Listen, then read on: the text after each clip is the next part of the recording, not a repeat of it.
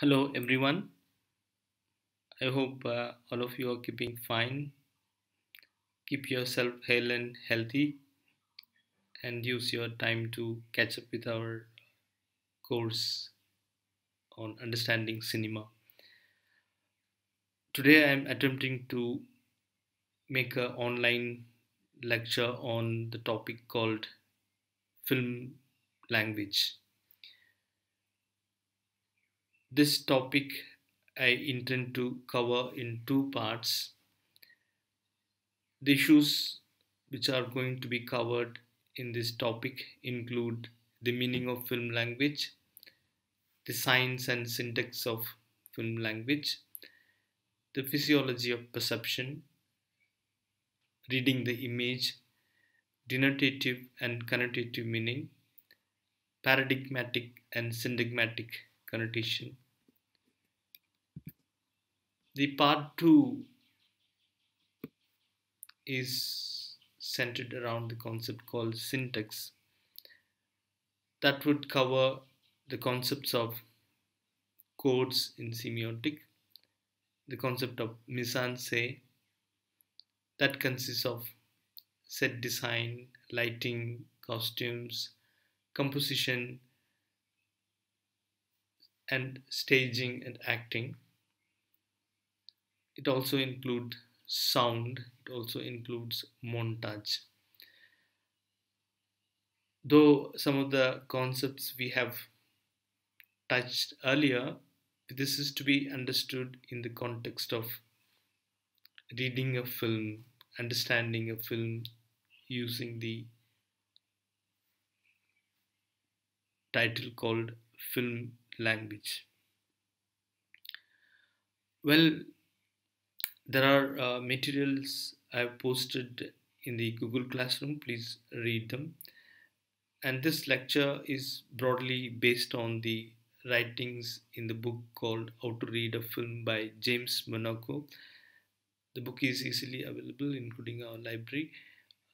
Please read the text and supplement my lecture to understand it well.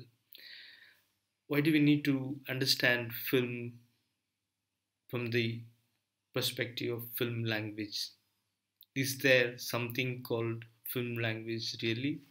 Or are we trying to impose the idea of film language? Does film language exist?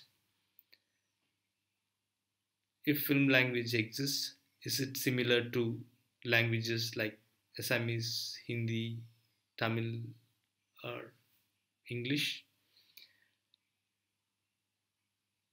Or there are similarities and differences? Well, first of all, we cannot carry on a conversation using a film language like I do now with you in English. I can't use a film language to convey messages. Having said that, there are similarities between language in general or language, spoken language, written language, which are basically made up of signs and codes having a syntax to convey meaning. Basically, they are all systems of meaning making communication. So, therefore, we can say film language may not be a language like Assamese or English, but it could be considered as a quasi language that has lot of similarities to spoken and written language. One must definitely know the language before starting to speak and understand. If I have to learn to speak in English, I have to start with ABC. Similarly, any other language, I have to know the words and grammar. But it's not necessary when we watch film. Nobody learns a language of film to watch a film. They say even dogs and cats enjoy visuals. They watch attentively to some of the program. Even infants as old as six months attentively watch some visuals. Mothers leave the kids in front of TV to engage in some other activities. Especially when advertisements are played, they watch very keenly. So, therefore, it is not necessary to know film language in order to understand any visual medium. In fact, every human being who are sighted can identify, recognize, and read images. But everyone reads image in different way. Some gather more information, some gather less information. So there is a possibility of becoming visually literate in order to gain more information from the same images. Though kids watch TV, but they say it's only by age of 8 or 10 they try to understand, comprehend in full meaning of the films or any other uh, text.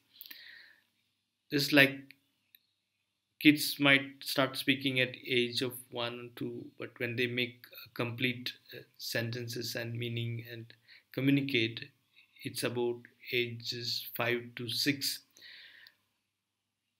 So there is a certain amount, certain amount of fluency in understanding uh, using the language, be it the spoken written language or film language. If we say one can become a literate in visual reading, then how do we read an image? Well, in order to understand how do we read an image, we need to look at the physiology of perception. The eyes look at an image using the optical sensors, then send the stimuli to the brain. So the interpretation and perception is a mental process, while the visual stimuli is a optical uh, process. We may compare optical process with the auditory process. The sound comes to our ear, whatever sound which exists in the ambience all reach our ears. We do not choose to hear anything, it all comes. Whereas it's somewhat different when it comes to seeing. We choose to see something because in order to see something clearly, see something sharply, we need to focus. The fovea in the retina gathers the stimuli, therefore, it has to focus in order to understand what it is. Therefore, this is an understanding about the physiology of perception. Physiology, physiology of perception includes both the mental process and the physiological process. I said that we consciously choose to see and read images, but however, all the process is not purely conscious. There is both semi conscious and conscious process involved in reading images. when we read a text, we read from left to right, so we focus and move our eyes to read every word and go on like that. But when we read images, we also do something similar, but not necessarily in the order of left to right. This semi conscious process of reading images is called saccade reading.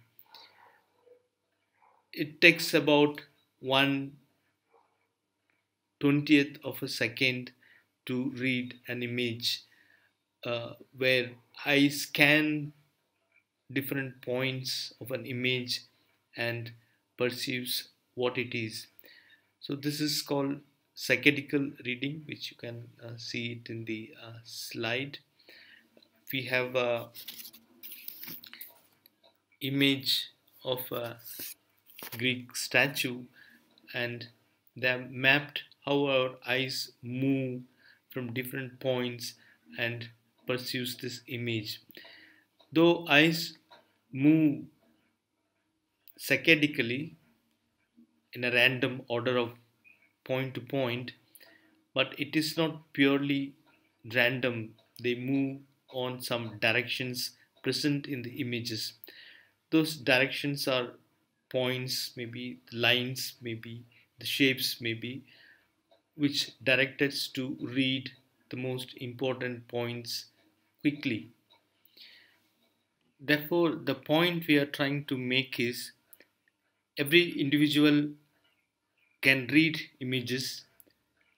However, some can read more information, some read less information given the same timing. So when we look at how do individuals read images, we see there are three different mechanisms involved in reading image. First, the physiological, second, ethnographical, third is psychological. Physiological process I already mentioned that is the combination of optical process and mental process involved in perceiving an object or perceiving an image. What is ethnographical reading? Ethnographical reading is our cultural training in reading visuals and combining meaning of it. Once they conducted an experiment by giving a drawing of three-dimensional shapes to two different cultural background. One was the Westerners, the other was the African uh, students. They were given some sticks and thread to create, recreate the shape of the drawing shown on the board. What they ended up making was while the Western culture made shapes of three dimensional figures, whereas the African culture made a two dimensional shapes of the sticks, which we can see here in this slide. So, therefore, the cultural background, the training, the experiences also influences the way we see and interpret images. Thirdly, the psychological reading of images. Psychology is about individual differences that make up of individual experiences and individual emotional responses which are different for different individuals so therefore images are integrated and associated with their own experiences relating to their past history, past uh, life. Therefore, the combined reading is all these three put together creates the meaning and uh, the information they gather uh, you know to the different levels of uh, perception. Some can read an individual uh, sorry some can read an image more sophisticatedly than the others. Therefore they say people who are visually literate see more and hear more. Therefore some people can read images far more elaborately and in more detail than others. Well, coming back to the topic how to read a film, the word read implies we can read image like we read text. This has been an endeavor for a long time to break the overall structure into finer units and see how the meanings are embedded in the units like they used to do in spoken language linguistics for example tries to break down the language into finest unit from sentences to phrases to word to morphemes to alphabet. If you do that in film, we might also end up with equations. Like we might consider a film like an essay, then a sequence in the film will be like a paragraph. Then a scene will be like a sentence and a shot will be like a word and a frame will be like an alphabet. In language, spoken language, alphabet is the smallest unit. Many of them do not have meaning by itself. Equation of alphabet in cinema to a frame contains lots of meaning. In fact, they say it can contain infinite number of meaning. Therefore, similar attempt to read film by breaking down the units will not yield much headway into understanding how we read the film. Scholars used semiotic theory, especially in 1950s and 60s, after semiotics became an important science to understand the meaning of communication that happens mostly by the user, how they generate meaning rather than meaning embedded in the text itself. So this approach gave a new impetus to understanding film in a better way. A film scholar called Christian Metz elaborates this theory in detail on film semiotics. Of course, uh, most of us are familiar with the concept of semiotics that was discussed in earlier uh, semester. It was initially introduced by Ferdinand de Saussure when he was studying linguistics and how he located language. Ferdinand de Saussure located linguistics within the theory of semiotics or within the broader framework of structuralism, where he found the language system as a structure and the usage which comes out of it as to find its meaning based on the the structural norm. He used the concepts like Langue and Parole to distinguish between the system of the structure and the usage pattern. So this theory was very influential, adopted into various other philosophy gradually, is applied also to understand many of the communication system. We consider everything as a language system because they are all made up of signs and symbols and codes. So basically semiotics is the study of signs, signage system. So Christian Metz has written on the film language or the semiotics of cinema. He says, we know that film language exists not because film language exists, therefore people have great people have told great stories. Rather, it is true that films have told great stories, therefore film language exists. I don't know I'm making sense.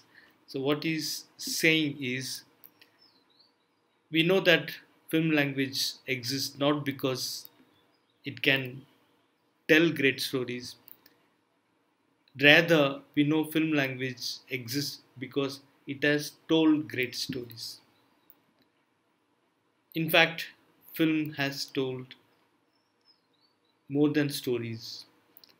In its last 100 plus years, it has captivated people's imagination so powerfully across culture, across ages, across different periods. Film is definitely an art too, it's a creative work. Therefore, there are a lot of meanings embedded in its its texts. So only when we know how to read it, we can unravel different layers of meaning buried in every frame.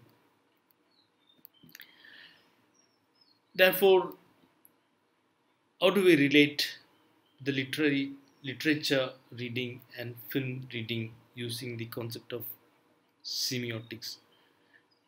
When we say language is consists of signs and signs are reference to objects and the objects and the signs do not have any permanent relationship the relationship is totally arbitrary so therefore the relationship of the sign and the object exists in our mind not outside of our mind in order to understand it better we can distinguish between signifier and the signified. That is, a sign can be broken into signifier and the signified. If I use a word tree, the imagination of tree is there in our mind. The sound tree or the letters T R E E do not have any intrinsic quality of a tree themselves. And the imagination of tree for all of us are so different. And there is nothing called the tree. There are different types of tree therefore literature is rich because the signified and signifier are different and therefore the reader has this fascinating experience of going through the relation between the signifier and signified as he unravels the meaning in the literature, in poem or novel or short story or essay or anything. Whereas in cinema, the signifier and the signifier are identical. Therefore, the challenge of creating imaginary signified for the filmmaker is is really high. So they say it is like a short circuit sign, a sign which resembles the referent itself. That's why Christian Metz has used this term. A film is difficult to explain because it is easy to understand. To give an example, in literature or in spoken language, we might use a word rose, the flower. But while speaking about rose, it can be used as rosy, rosier, rosiest. Even in a similar sounding words like rose or rise or arose. So therefore, minor differences in accent can bring out whole lot of signifieds. Whereas in cinema, a rose has to be a rose, it cannot be anything else. If the director wants to show a rose, he has to show only a rose. He cannot show a rosier rose or rosiest rose. So, therefore, the imagination in cinema is different from literature.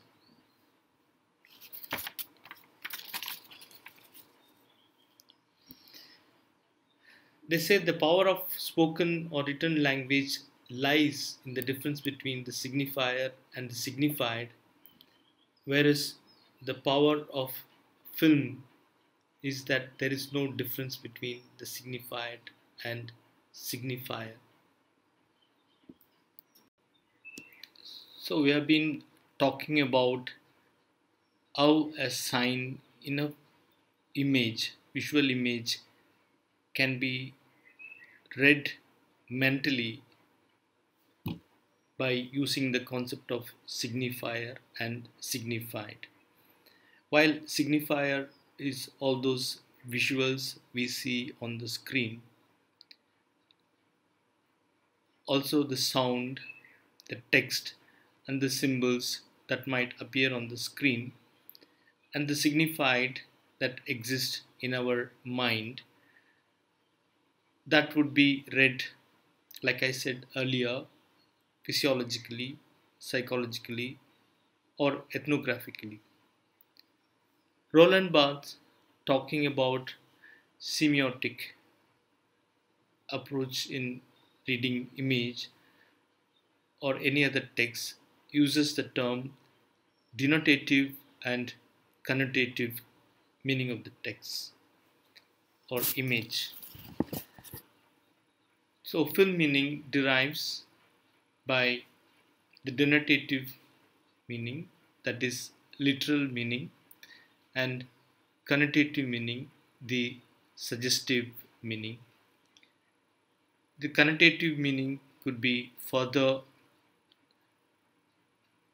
classified into paradigmatic and syntagmatic readings. What is denotative reading of the sign or image. Denotative refers to literal or actual or obvious meaning of the sign or the word. It refers to objects which we experience in real world. So when we look at people, spaces, we connect it to or relate it to our experience of reality. Therefore, when, for example, a woman is to be said in through image, it can show not the abstract woman but an actual woman. Similarly, any other object for that matter. While connotative reading, we associate the images with our experiences. We go beyond the literal meaning to figurative meaning, the associated meaning of our experiences. The associations can be positive or negative. To give an example, home is an image, a house is an image. It can be positive when a person associates with it in terms of security, in terms of comfort. On the other hand, a person might also relate it to the negative emotional experience like fear or discomfort if he or she has that emotional past experiences. It is in connotative meaning that cinema can tell rich stories because it can bring several types of associations which we can relate to our real life. However, the directors, filmmakers do not want every individual viewing the film to have their own experiences, but rather they direct the viewer to go through a particular viewpoint as much as possible, the viewpoint the director wishes to portray. The words of uh, Roland Barthes denotative meaning can be first order of signification, while connotative meaning is second order of signification. In the film, denotation therefore is what is shown on the screen. Connotative meaning is the suggestive meaning that are culturally encoded.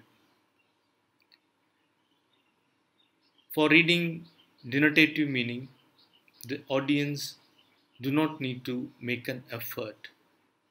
Whereas for connotative meaning, it evokes several meaning where our visual literary skill would help us unravel the associated meaning which is built into the visual narrative. There would be emotional overtones, emotional or psychological or cultural interpretations, ideological assumptions, social values. Many suggested and implied meanings are brought out in the connotative meaning. Connotative meanings are further broken into paradigmatic readings and syntagmatic readings. What is paradigmatic connotation? A shot can be taken as a paradig- paradigmatic reading, whereas a combination of shots can be taken as syntagmatic reading.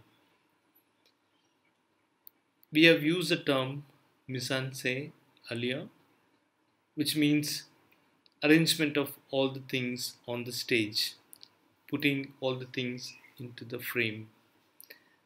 So, in order to understand paradigmatic reading, we need to take one frame, one shot at a time, and see how our mind reads, interprets the meaning.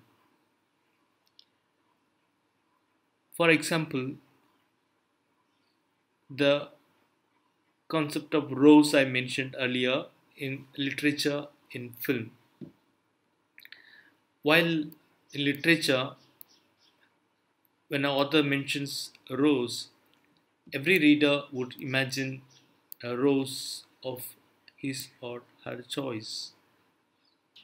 The audience might, the reader might imagine a rose which can be fully bloomed or a bud or a rose with leaves with a stem it could be different colors. It could be in different seasons timings of the day. Whereas when a director wants to show a rose he has to show a particular rose. However the director too can exercise his or her discretion in choosing how to shoot that rose. He or she can shoot it in different angles, in different length. It can be low angle or high angle or eye level angle. It can be close up or it can be a medium shot or it can be a long shot. So when a director chooses to shoot any one of a particular uh, shot, the all other options which he or she leaves out acts like a paradigmatic connotation. If a director shoots a rose in a low angle, it could imply the rose is dominant. It is shown as the flower, the image.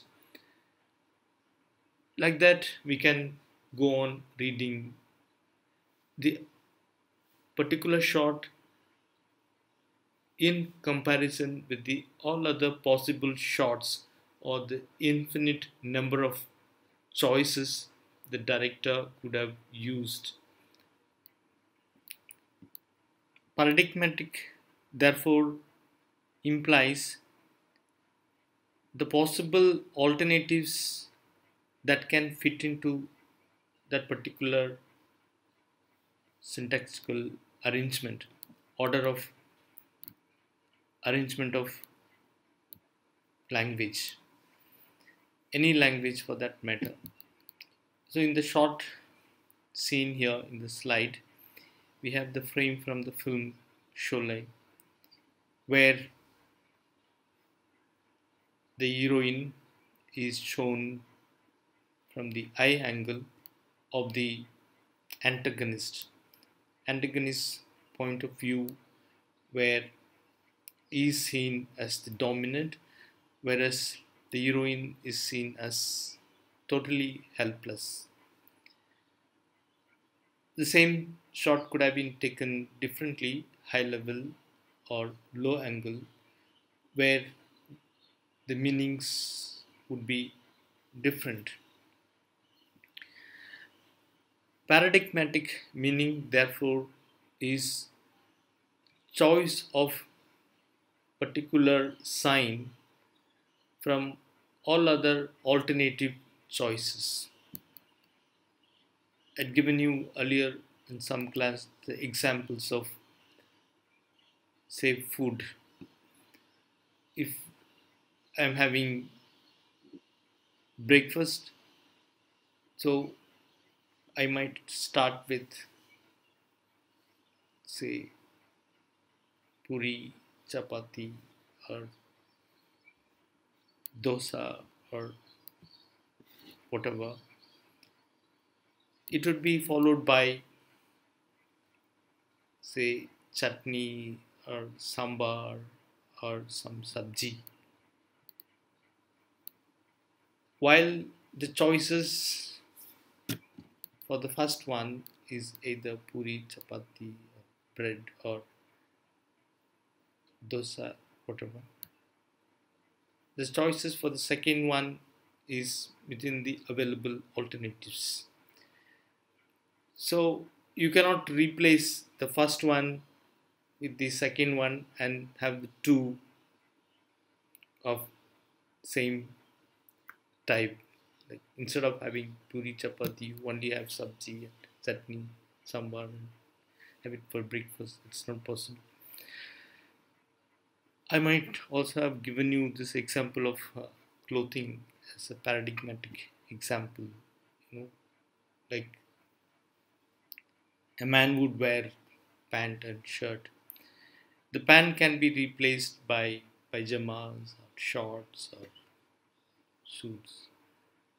The shirt can be replaced with kurta, t-shirt or pullover. But you can't have similar type for both the options, right? So paradigmatic is choices made out of the possible alternatives. So when a particular choice is made, mentally we are able to connect with what are the other alternatives the director has left out. So our reading is related to alternatives that are possibly not chosen. Coming to the syntactical reading of the sign or image syntactic reading is combination of short while paradigmatic reading is understanding of the mise-en-scène which we will discuss in detail later syntagmatic reading is how short a b c is arranged and when in arrangement what is the different meaning they evoke because of that sequential order of arrangement. Or the theory which explains this syntactic, syntagmatic short is montage theory, which we'll also see in detail in the part 2 of this lecture. The Russian formalists are known for their montage theory. Sergei Eisenstein is particularly known for this this kind of experiment in all of his films. In film Strike, he arranges a shot A where the laborers, workers are killed by machine guns.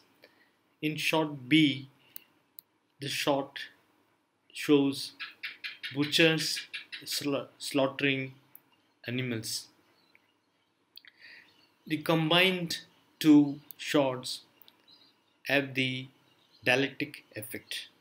It is juxtaposed with one another to create an effect that laborers are butchered like animals.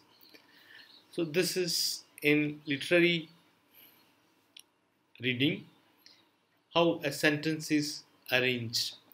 A sentence would have a noun, a verb, a subject in order to create a full meaning. Similarly, arrangement of different shots can have a meaning and changing one with the other can have total new effect. We will be discussing about this later, uh, as I said, on uh, explanation of uh, syntactical uh, meaning. Now to give you some uh, concepts given by Peter Wollen in his book Signs and Meaning in Cinema. He cites C.S. Peirce, the American semiologist, who is known for interpreting more of visual signs compared to Saussure's linguistic uh, signs. Peter Wollen talks about three types of signs. They are icon, index, and symbol. Icon, in other words, is a sign which is identical Peter Wollen talks about three types of signs basing on his sorry basing on C.S. Peirce semiology. The three types of signs are iconic, indexical, and symbol. icon is nothing but sign that is identical to the object it refers to.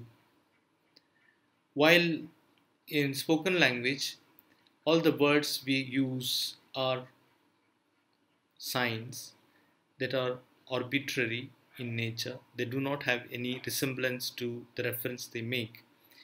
A cat does not have any resemblance to the word cat.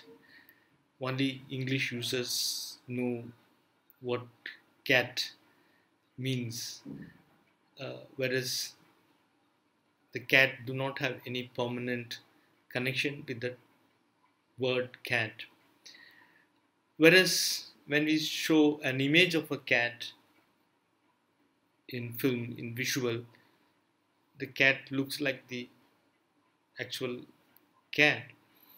Therefore, the sign is called icon.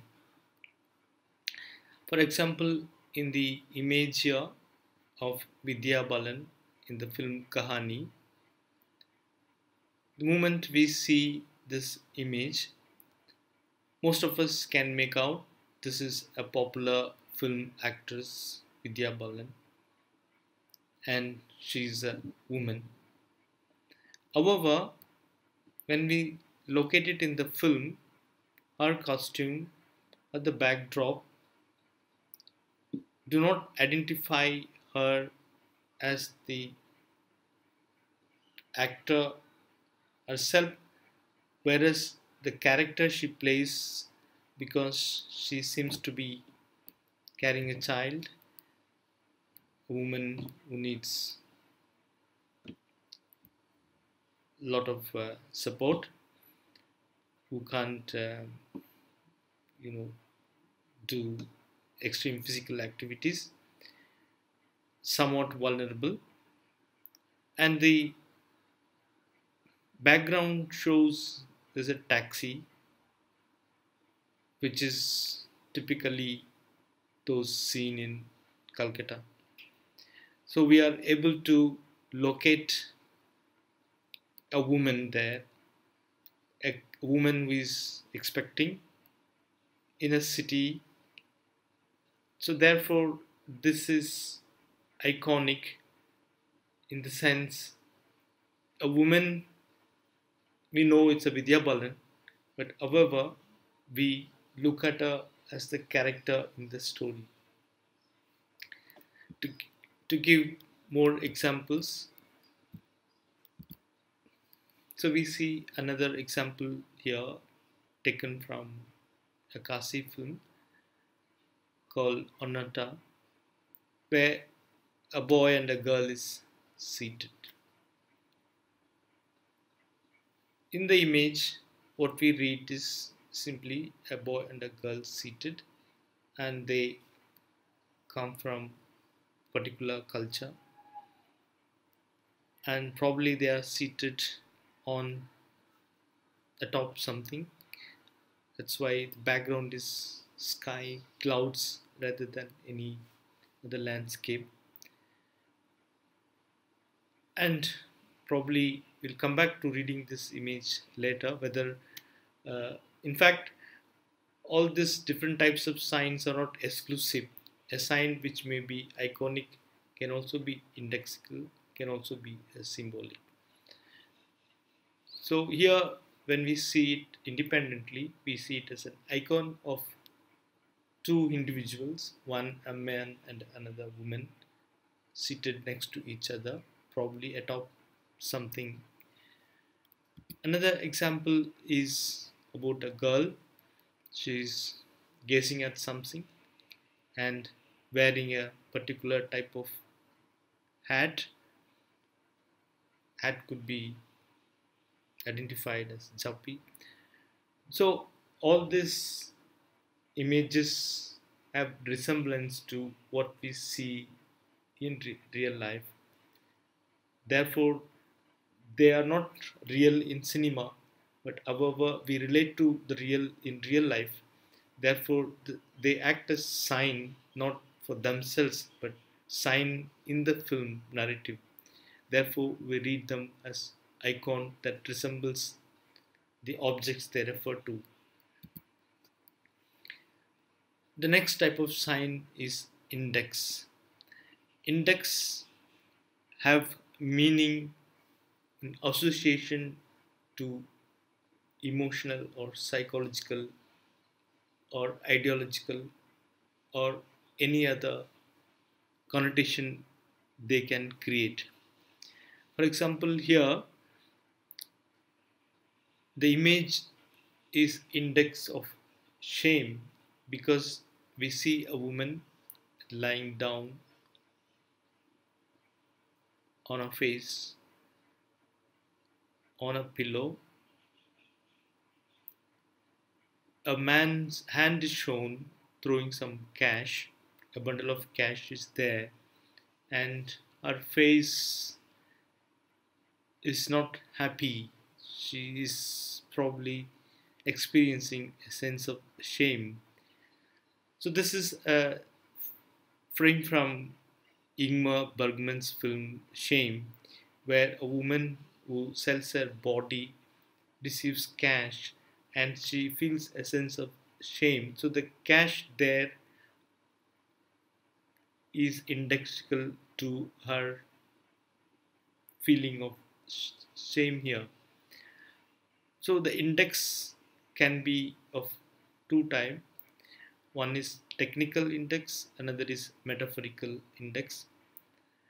Technical index for example we can see clock to show time is running or calendar uh, falling.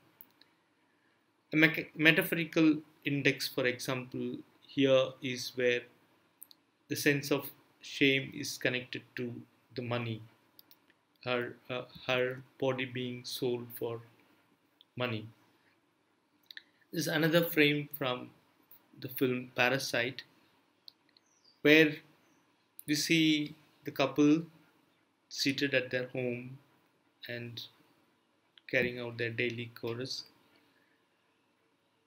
What we notice is here is their house is located lower than the the average ground level. Probably the index to their lower social status is connotated by this frame. So therefore metaphorically their lower status is identified by also their house is situated at the lower level than the ground level. Another example of index is this frame from Kurosawa's film called Ikiru. An old man, the protagonist, is seen seated on a swing and is swinging in a park. It's probably it's raining. This is not normal for a 60 plus year, 60 something man seated in a park and swinging alone. Whereas this is a metaphor of a man being born again, the child in him comes alive. So the child index is transferred to this man on a swing.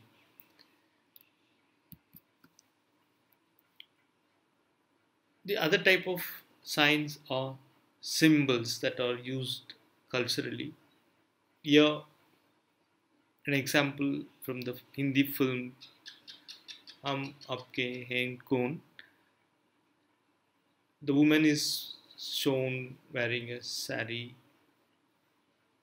covering her head and carrying a ritualistic plate with all puja materials which is understood in a particular cultural symbols so religious rituals the married woman covering her head and wearing a sindhu.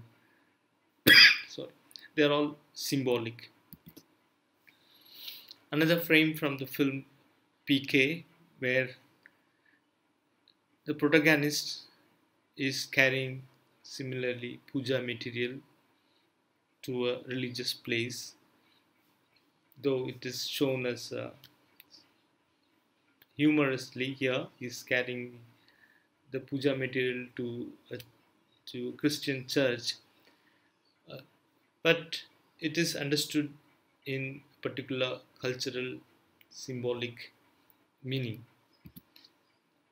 Another example of the symbolic is again the coffin in the Swedish film Face to Face. Coffin symbolizes after death the concept of death itself, the meaning of life. So uh, again, it is cultural, it's a philosophical, and the meaning of man, woman after death inside the coffin. So several layers of meaning are brought in by using this uh, symbolisms. Within the index, we can also uh, see the metaphorical in terms of their analogy or simile used. So there are uh, several types of figures of speech used in images like we use in literary writings. Metaphor, metonymy, synecdoche, trope or something we will quickly touch. A metonymy is a figure of speech in which an associated meaning is brought in. Here we have a frame from the film Rashomon, Akira Kurosawa film Rashomon, where the bandit in the jungle comes across this royal couple, a woman on a horse is led by her husband. The bandit suddenly noticing a beautiful young woman he gets bad ideas. That is shown in metonymy, the association of his sword being lifted up as a perverse attempt to assault. It's shown as a phallic symbol, it's shown as a weapon for aggression, violence.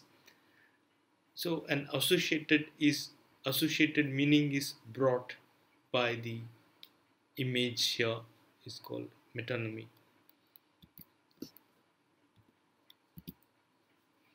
Another example of metonymy is from this film called Leda by Charles Chabrol, French New Wave director. Here, the actor is seeing his reflection on a mirror which is cracked in several layers. So what we see is a multiple image of himself on the mirror, which is a metonymy of his association of his real schizophrenic stage. He is facing a crisis of multiple personality in, in himself. So that is being you know used figuratively in the image here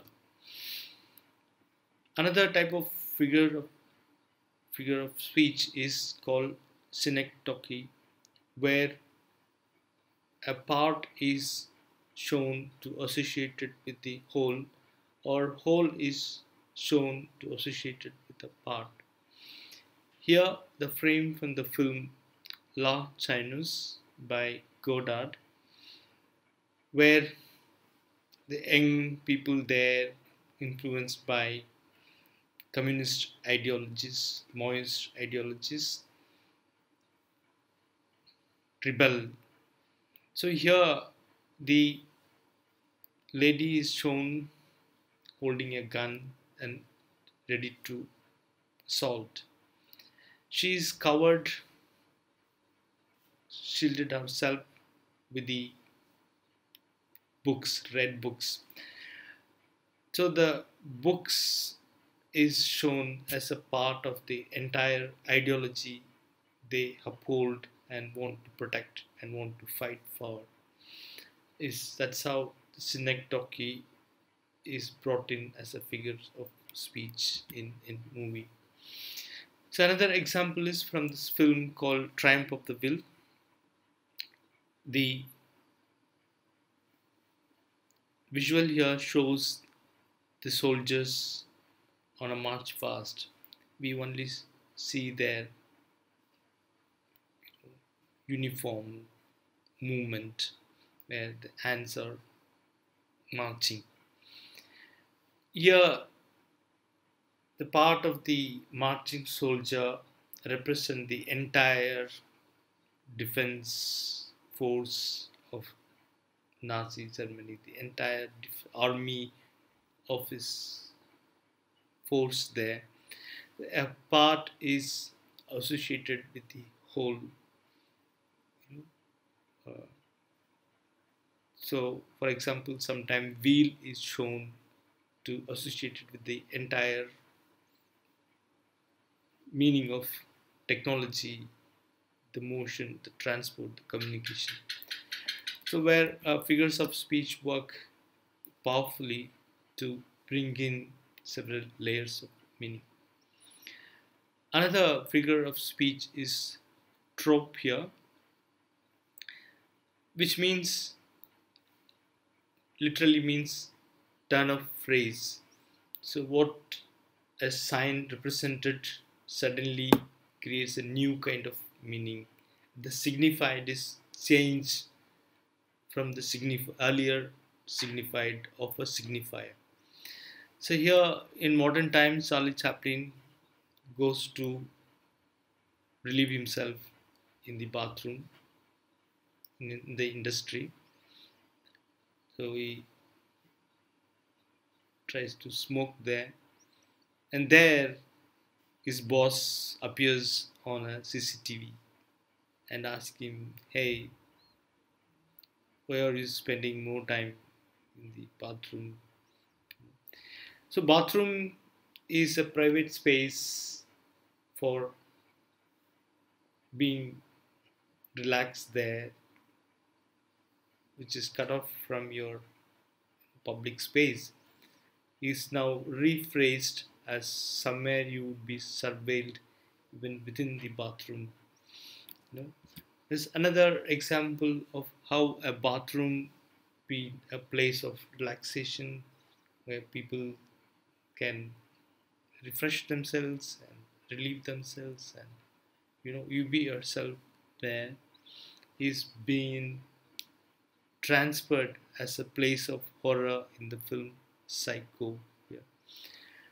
So, trope therefore works like a metaphor that changes is signified from the earlier signified. So that's how we come to the end of the part one of the film language. Hope you have understood the basic concepts and how to read images using the semiotic theories. So we'll get back with another lecture on how to understand the film, how to read a film using the syntax concept. Thank you.